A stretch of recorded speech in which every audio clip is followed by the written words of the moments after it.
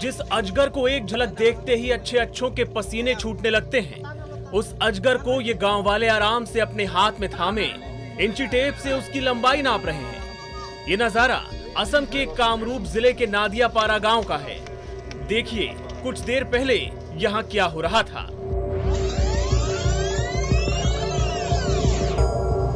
ये अजगर यहाँ एक घर में घुस आया था।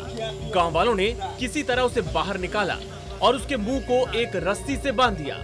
सांप रस्सी की पकड़ से खुद को आज़ाद करने के लिए छटपटा रहा था।